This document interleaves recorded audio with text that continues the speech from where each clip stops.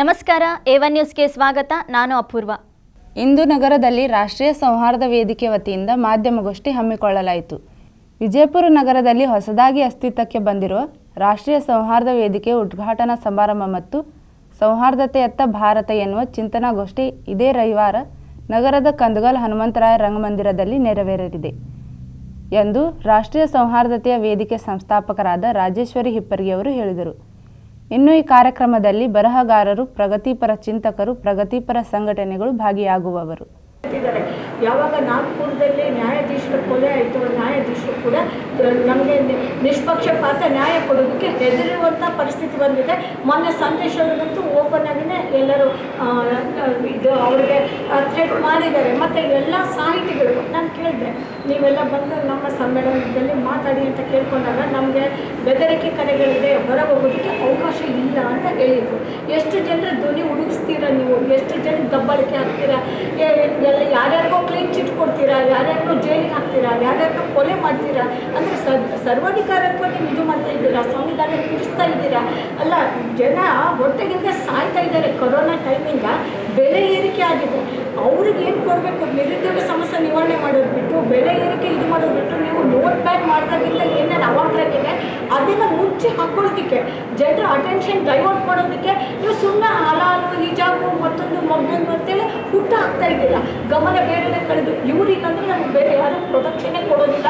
ಇದೇ ಇರಬೇಕು ಅನ್ನೋದು ತಿಳ್ಕೊಂಡು ಆ ಮಕ್ಕಳ ತಲೆಯಲ್ಲೂ ತುಂಬೋದ ಆ ಪಠ್ಯ ಪುಸ್ತಕ ಚುಕ್ಕೆ ಮಾಡಿ ಈ ಥರದ್ದೆಲ್ಲ ಮಾಡಿದಾಗ ಮತ್ತು ನಿಮ್ಮ ವಿರುದ್ಧ ಧ್ವನಿ ಎತ್ತೋರು ಉದ್ಯಮಿಗಳಿಗೆ ಇಡೀ ಐ ಟಿ ರೇಡ್ ಭಯ. ಅವ್ರ ಆಸ್ತಿ ಹೋಗುತ್ತೆ ಅಂತ.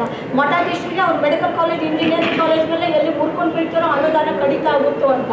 ಆಮೇಲೆ ರಾಜಕಾರಣಿಗಳಿಗೆ ಅವ್ರ ಗೌರ್ಮೆಂಟ್ ಹೋಗ್ಬಿಡುತ್ತೆ ಅವ್ರು ಇದೇ ಹೋಗ್ಬಿಡುತ್ತೆ ಅಂತ ಭಯ ಮತ್ತು ಅವ್ರ ವಿರುದ್ಧ ಧ್ವನಿ ಎತ್ತೋರು ಯಾರು ಅಧಿಕಾರಿಗಳಂತೂ ಅವ್ರದೇ ವ್ಯವಸ್ಥೆಯಲ್ಲಿ ಕೆಲಸ ಮಾಡ್ತಿರೋರು, ಅವರ ಆ ಸರ್ಕಾರದ ಒಂದು ನಿಷ್ಠೆ ಅವ್ರಿಗೆ ಇರಲೇಬೇಕಾಗುತ್ತೆ, ಸರ್ಕಾರಕ್ಕೆ ಅವ್ರ ನಿಷ್ಠೆ.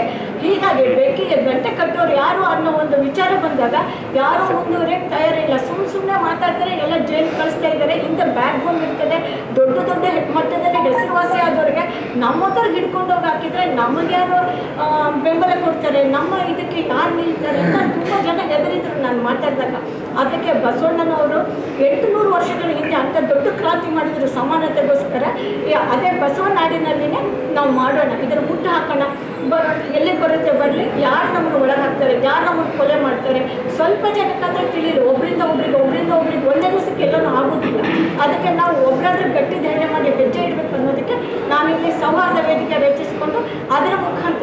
ಜನರ ಸಮಸ್ಯೆಗಳಿಗೆ ಈಗಿರುವ ಸಂವಿಧಾನ ಉಳಿಸಬೇಕು, ಪ್ರಜಾಪ್ರಭುತ್ವ ರಕ್ಷಿಸಬೇಕು, ಇಲ್ಲಿ ಶಾಂತಿ ಸೌಹಾರ್ದತೆ ಕಾಪಾಡಬೇಕು ಅನ್ನೋ ನಿಟ್ಟಿನಲ್ಲಿ ಈ ಕಾರ್ಯಕ್ರಮ, ಈ ವೇದಿಕೆ ನಾವು ರಚಿಸ್ಕೊಂಡಿದ್ವಿ, ಈ ಕಾರ್ಯಕ್ರಮ ಹಮ್ಮಿಕೊಂಡಿದ್ವಿ. ದಯವಿಟ್ಟು ತಾವುಗಳೆಲ್ಲ ನಮ್ಮ ಜನ ಧ್ವನಿಯನ್ನು ಜನರಿಗೆ ತಲುಪಿಸೋ ಕೆಲಸ ಮಾಡ್ಕೊಳ್ಳಿ ಅಂತ ಕಳಕಳಿಯಿಂದ ವಿನಂತಿಸ್ಕೊಳ್ತೀನಿ. ಗೌರವಾನ್ವಿತ ನಮ್ಮ ರಾಷ್ಟ್ರೀಯ ಸೌಹಾರ್ದ ವೇದಿಕೆ ವತಿಯಿಂದ ಹಾಗೂ ನಮ್ಮ ನಮ್ಮ ಅಧ್ಯಕ್ಷ ವತಿಯಿಂದ ಹಾಗೂ ನಮ್ಮ ವೈಯಕ್ತಿಕವಾಗಿ ಎಲ್ಲರಿಗೂ ಹೃತ್ಪೂರ್ವಕವಾಗಿ ಸ್ವಾಗತನ ಕೋರುತ್ತೀನಿ ನೀವು ಮಾತ್ರ ಈ ಒಂದು ಸಂವಿಧಾನ ಭಾರತದ ಪ್ರಜಾಪ್ರಭುತ್ವ ಉಳಿಸ್ಲಿಕ್ಕೆ ಸಹಾಯ ಮಾಡ್ಲಿಕ್ಕೆ ಸಾಧ್ಯ ಯಾವುದೇ ಅಂದ್ರೆ ಅದು ನಿಮ್ಮ ಒಂದು ಮಾತು. ಇದೇ ಸಂದರ್ಭದಲ್ಲಿ ಫಯಾಜ್ ಕಲಾದ್ಗಿ ಬಾಳು ಜೇವೂರ್ ಮುಂತಾದವರು ಉಪಸ್ಥಿತರಿದ್ದರು. ಹೆಚ್ಚಿನ ಸುದ್ದಿಗಾಗಿ ನೋಡ್ತಾ ಇರಿ Evan news the face of trust.